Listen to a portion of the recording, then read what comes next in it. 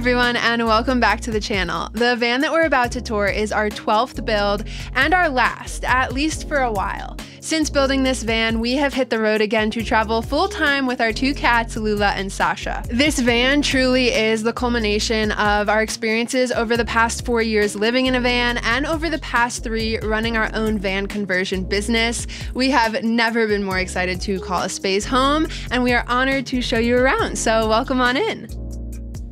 The standing height inside this van is about 6'2 and the side to side width is about 6'1. A non negotiable for us was this divider wall with a sliding pocket door. Sectioning off the cab from the rest of the living area provides temperature regulation, privacy, and is important for security. It also gives us such peace of mind that we can keep our cat safe while entering and exiting the vehicle. If you're interested in how we constructed this wall, we have a tutorial video up on our Patreon, which is linked in the description box below. This wet bath placement is one we've been dreaming of for years. It was heavily inspired by the previous van we lived in, which had a hidden pop up shower in this exact spot. We loved the placement so much that we took the concept and expanded upon it by raising the walls to the ceiling and enclosing it. This arched doorway provides a beautiful visual element, and this Nautilus door keeps water contained. There's a single puck overhead in the shower and a small LED to illuminate this shelf.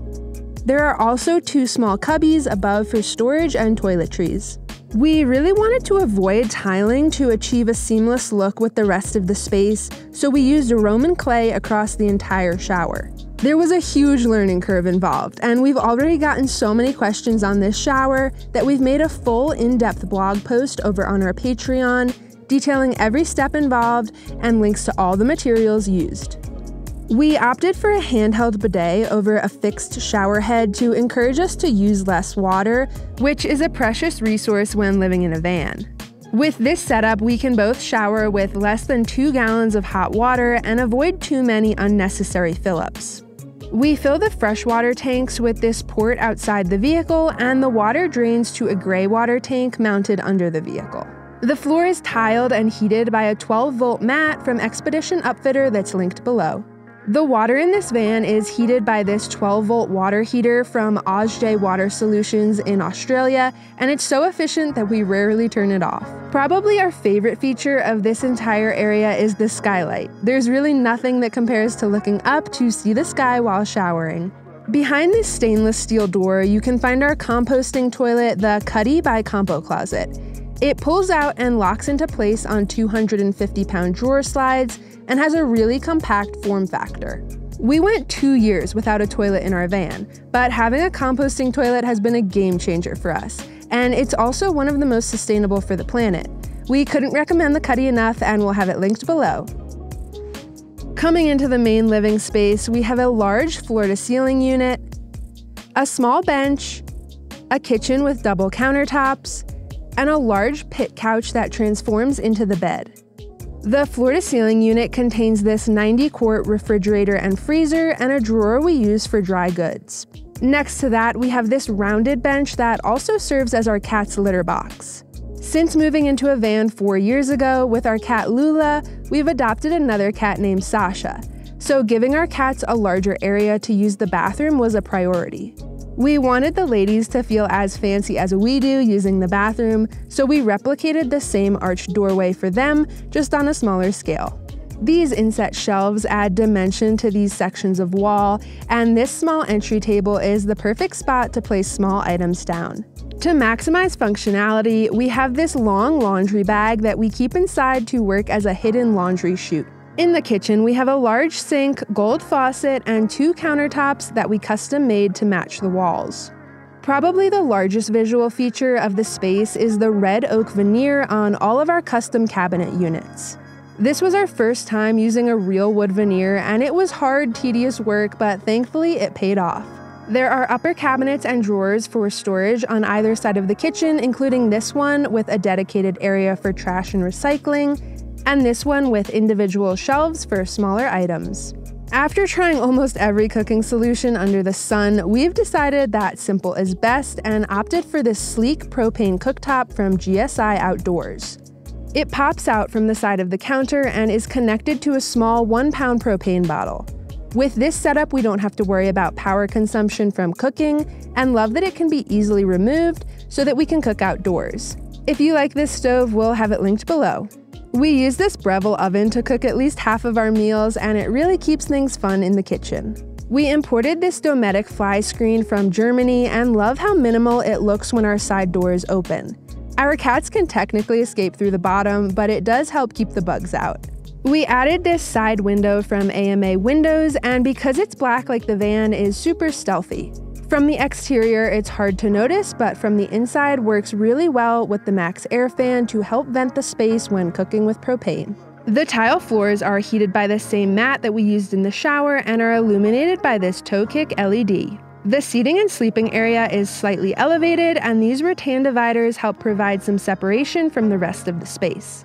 The U-bench layout in our last van worked so well for us that we decided to replicate it but add a fifth cushion to the back for more of a loungy pit couch feel. While we travel, we work remotely and this Lagun mount makes the perfect desk. We convert the bed by removing this small cushion, placing this piece in the gap, and sliding the remaining four cushions into place. For us, having a convertible bed is key to living in such a small space as a couple.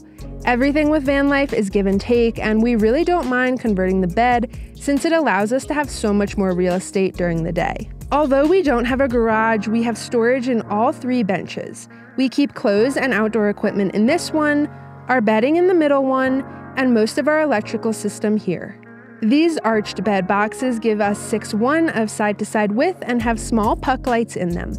There are upper cabinets on one side of the bed, but we left the other side more open with this floating oak shelf. There is a small light that seats into the shelf or can be removed and clipped into a hidden hook in the ceiling for more direct overhead light. Because our whole goal for this van was stealth, we decided to skip bunk windows and instead install this 24 by 24 inch boat hatch overhead. It provides great natural light, has a bug screen and blackout shade, and from the outside of the vehicle can't be seen at all when closed. One of our favorite features of our van and one that we enjoy every night at sunset is our walkable solar deck. This ladder and tire mount combo from Aluminess allows us to access the roof deck and also carry a spare tire on board. Up on the roof, we have five 60 watt panels and two 150 watt panels for a total of 600 watts. These are semi-rigid marine grade panels from Custom Marine Products, and because they're meant for boats, are made to be walked on. Getting this much solar in addition to two skylights and a MaxxAir fan on the roof was a challenge, but we were able to configure the panels in two different energy efficient series. Sasha loves coming up here to watch the critters below, and I love having a coffee in the mornings or doing a meditation. Having this secondary space is amazing, and because these panels are so low profile, they really help with stealth on the road. We'll have these linked below if you're interested. Our entire home is powered by 810 amp hours of Battle Born's new Game Changer series batteries. Fed by the solar on the roof, these batteries power everything in our van and allow us to remain off the grid indefinitely. These batteries are self-heated, which makes them great for winter when temperatures can drop below freezing. We're able to monitor the system closely with this Cerbo GX 5-inch touchscreen monitor that allows us to see our battery percentage, the amount of wattage coming in from our solar, fresh and gray water capacity, and temperatures inside and outside the van. We have 60 amps of DC to DC charging off the alternator when we drive, and shore power for when we plug in. Our 12 volt MultiPlus 3000 watt inverter helps us run our larger draw devices like our oven and outlets. In this upper cabinet, we have breakers, fuse boxes, heat and AC controls, and USB charging. We source these batteries and all of our Victron components through Battleborn and we'll have everything linked below. We've gone four years without AC in a van, but traveling full time through all four seasons, we have to be prepared for all extremes.